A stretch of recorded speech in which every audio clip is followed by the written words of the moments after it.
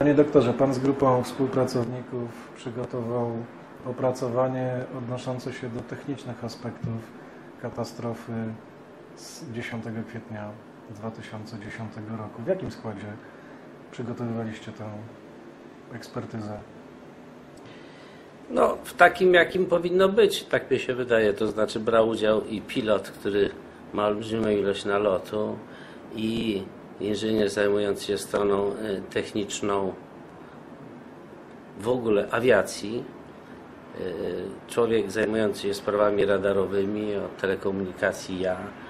No i tak naprawdę to, to nasza ta ocena była oceną spójną do tego, żeśmy dążyli, żeby nie było żadnej rzeczy, która, y, z którą by się ktoś nie zgodził. Czyli wszystko było zgrane razem i nie było rzeczy zamieszczonych, które byłyby tak zwane kontrowersyjne. Opieraliśmy się tylko na faktach, na materialnych faktach, nie na przypuszczeniach, no nie na faktach tak zwanych prasowych, które oczywiście jak z rękawa się sypały, codziennie był inny, ale to nie były fakty z punktu widzenia technicznego. To były pewne informacje, które my w technice nazywamy informacjami szumowymi. Po to wprowadzone, sądzę, że celowo, żeby y, doprowadzić do sytuacji, w której odbiorca, widz w ogóle już nie wie o co chodzi. Bo istnieje w technice coś, co jest takim nasyceniem informacji i w tym momencie układ odbiorczy, czy komputer, czy człowiek przestaje reagować. E, Jako anegdotkę mogę powiedzieć, że przy pierwszym lądowaniu na Księżycu ilość informacji, która docierała do komputera pokładowego, wtedy to był bardzo małej pojemności. Była tak duża, że ten komputer przestał y, działać i piloci musieli przejść na sterowanie ręczne, no i wtedy wylądowali na Księżycu. To jest taki właśnie efekt tego nasycenia informacją szumową e, odbiorcy, czy fizycznego, czy, czy, czy, czy człowieka, po to, żeby już nie wiedział na końcu nic. Myśmy się od tego odcięli i tylko y, bazowaliśmy na informacjach, które e, są rzeczywiście prawdziwe. No, na tym na, tym, na tej transkrypcji rozmów załogi samolotu, poza tym na naszej wiedzy, na, no, na prawach przyrody, techniki, awiacji. Proszę powiedzieć, bo wiele kontrowersji i niejasności narosło wokół y, lotniska w Smoleńsku, jego statusu, jego stopnia przygotowania do podejmowania takich lotów. Czy to było rzeczywiście jakieś bardzo wyjątkowe w tym zakresie lotnisko? No, z punktu widzenia tej nomenklatury międzynarodowej lotnisk, to było lotnisko poza klasą pierwszą. To nie żaden ewenement. W tym samym okresie, o ile ja wiem, y, największe lotnisko w Polsce, Okęcie, utraciło swój status, no właśnie ten najniższy pierwszego, dlatego że urządzenia naprowadzające źle działały. No i także to nic nie było nadzwyczajnego. E, 85 czy więcej procent lotnisk w Polsce ma taki sam status techniczny oczywiście i formalny jak to lotnisko z Siewiernej. Może w pewnym sensie załoga była przygotowana i przyzwyczajona do lądowania na lotniskach podobnej klasy, no bo skoro lotnisko bazowe, czyli Okęcie i większość lotnisk w Polsce miało ten sam status, to nie było to jakieś szczególne wyzwanie lądowania w Smoleńsku. Nie, oczywiście, że nie. Lotniska, które posiadają w Polsce system y, radiolokacyjny, system wspomagający lądowanie, y, no są, ale tak jak wspomniałem, większość nie ma tego i do lądowania, do ustalenia mm, trasy samolotu i potem podejścia do lądowania służą y, systemy nawigacyjne, które ma samolot, plus jeszcze te wspomagające na które są na lotnisku. Takie wspomagające oczywiście na tym lotnisku były. I do nich należą właśnie te y, dwie radiolatarnie wyznaczające y, kierunek, linie, na, na przedłużeniu których znajduje się pas startowy. Tam jeszcze, ponieważ sytuacja była e, nie najlepsza pogodowo, miejscami to Rosjanie ustalili przed samym początkiem pasu taką bramkę, która została wykonana z reflektorów samochodów lotniskowych. To też jest standard, to też jest nic nadzwyczajnego. Także tutaj nic nie było takiego, co. Zresztą piloci rozmawiając y, mówili nawet, że e, to, to będzie na tyle proste, że nawet możemy lądować na ten system TAWS, który jest y, odpowiednikiem GPS-u. Wyglądać lądowanie na takim lotnisku w takich warunkach pogodowych. Lądowanie na lotnisku tego typu, o tym statusie, czyli lotniska nieposiadającego systemu naprowadzającego, o warunkach pogodowych no nie najlepszych, y, jest pewnym lądowaniem standardowym według przyrządów nawigacyjnych, które ma samolot i według urządzeń tych nawiga- nawigacyjnych na lotnisku, czyli głównie radiolatarni, z których tutaj były dwie radiolatarnie ustawione w odległości 6 i 1 km od pasa, których przedłużenie tworzy linię lądowania wzdłuż osi pasa lotniska. No, do tego jeszcze dochodzą urządzenia zainstalowane na samolocie, w samolocie, prawda, czyli wysokościomierze. Jest ten TAWS, czyli system pozycjonowania według satelity, ale to nie jest urządzenie nawigacyjne, to jest tylko urządzenie wspomagające, żeby wiedzieć mniej więcej gdzie się jest. E, No plus jeszcze e, wtedy, kiedy nie ma dobrej pogody, mm, jest, jest ten radiokompas, o którym mówiłem, wyznaczający kierunek według radiolatarni. No, sztuczny horyzont, który pozwala utrzymać samolot równolegle do ziemi, wtedy, kiedy jej nie widać. No i wysokościomierze, dwa wysokościomierze, jeden e, klasyczny, barometryczny, drugi e, radiolokacyjny, radiowy. Czyli dobrze wyszkolona załoga może w takich warunkach lądować. strony pilota, raczej załoga cała, nie ma kłopotu z lądowaniem na tego typu lotniskach nie posiadających systemów y, nawigacji tego IL, ILD, skrót angielski, kierując się wskazaniami własnych przyrządów y, pokładowych, plus jeszcze w tym przypadku tych dwóch radiolatarni, według których y, ustawiany jest radiokompas wskazujący dokładnie kierunek wzdłuż dwóch radiolatarni, których przedłużeniem jest e, pas ląd, ląd, tego lotniska. W, od, w tym przypadku, który rozpatrujemy, samolotu Tu-154, był spełniony warunek bezpiecznego e, lądowania, przy czym zawsze istnieje e, niepewność, czy w ostatnim momencie pilot oceni, że może wylądować, czy nie. I wtedy mm, wcześniej ustalona procedura wejścia na drugi krąg jest y, stosowana. W przypadku rezygnacji z lądowania, co jest przerwaniem procedury lądowania, oczywiście pilot ma możliwości i narzędzia do tego, żeby wejść według nomenklatury lotniczej na tak zwany drugi krąg. Do, tego, do tej procedury jest przygotowany. To nie jest nic nadzwyczajnego. Y, Stosowana ona jest wtedy, kiedy y, w momencie właściwym kapitan, w tym przypadku pierwszy pilot, podejmuje decyzję odejścia na drugi krąg.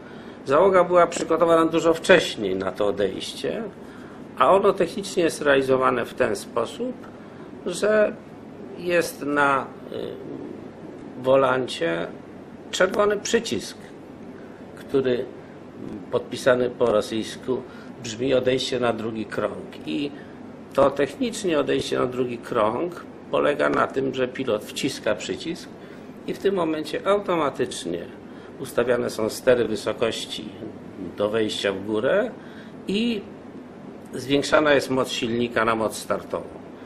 Bez zmiany kierunku lotu samolotu.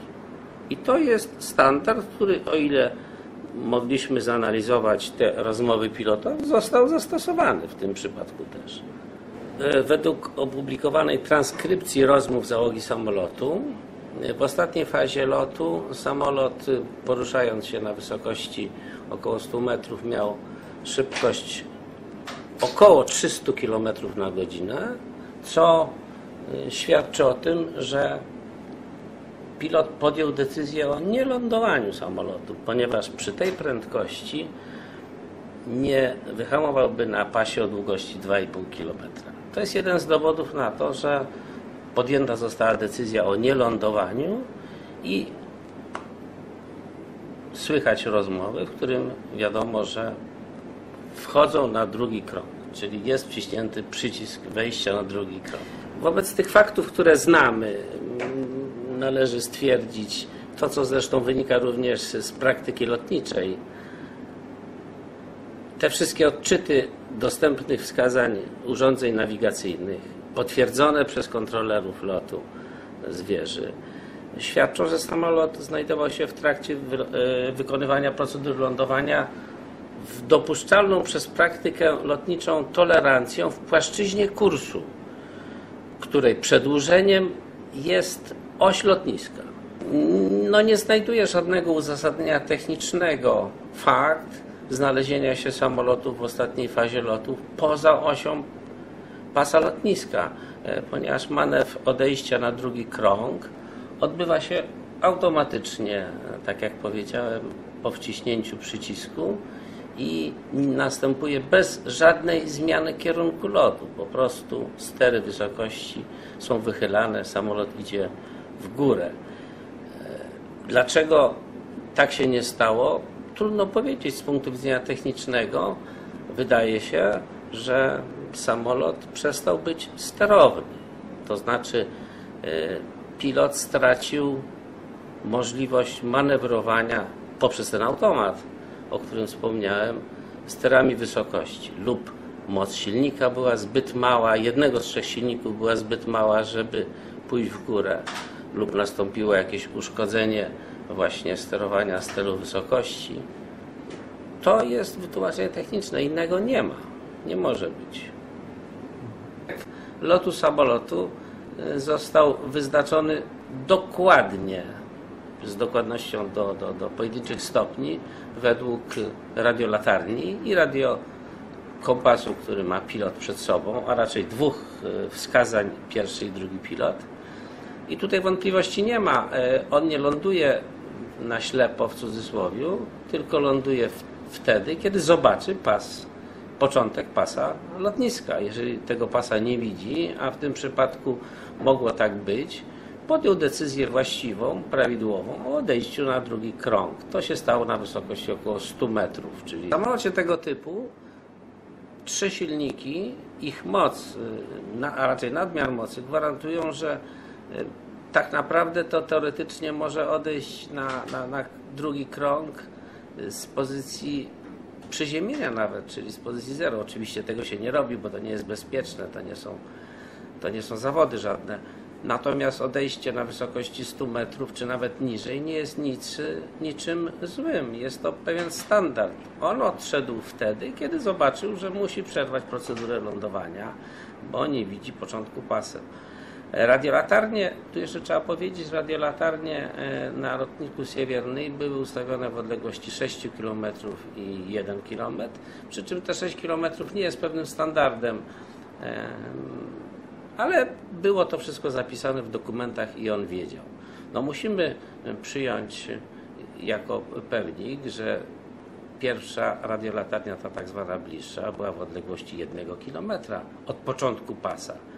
No bo wtedy już pilot mijając y, tą radiolatarnię, a wie kiedy ona, e, kiedy ona jest ze wskazań radiokompasu, wykonuje już automatycznie przyziemienie takie, żeby zmieścić się z lądowaniem do początku pasa. E, Wieża kontroli lotu tutaj podała, że on powinien lądować w odległości co najwyżej 120 metrów około od początku pasa, ponieważ pas był krótki, nie e, 2,5 kilometra tylko. Te wszystkie e, warunki były spełnione, techniczne właśnie co do lądowania i dlaczego nie wszedł samolot na drugi krąg automatycznie, no można wiedzieć bez żadnego kłopotu przy odczycie e, zapisów z tak zwanych czarnych skrzynek, które e, analizują parametry lotu. Spisują tych parametrów lotu jest 64 czyli wszystkie wychylenia sterów, wszystkie parametry silników, z tego można się zorientować, czy wszystkie silniki działały prawidłowe. Trzeba dodać tutaj, że te samoloty nie są jakieś specjalnie niezawodne, bo o ile wiem, na wyprodukowanych tysiąc uległo katastrofie około 60. Także to nie jest y, mało. Y, Wiemy, że technicznie drugi silnik, ten, który znajduje się w środku, sam- w środku pomiędzy dwoma z tyłu, pracuje w złych warunkach i możliwe jest jego przegrzanie się na skutek y, oblodzenia wlotu powietrza i wtedy może nastąpić, jeżeli się tego nie zauważy, może nastąpić uszkodzenie y, turbiny tego silnika.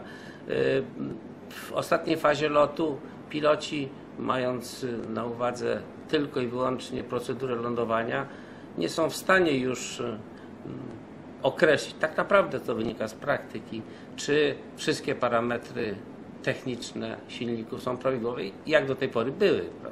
Także to jest jeden z elementów, trudno powiedzieć.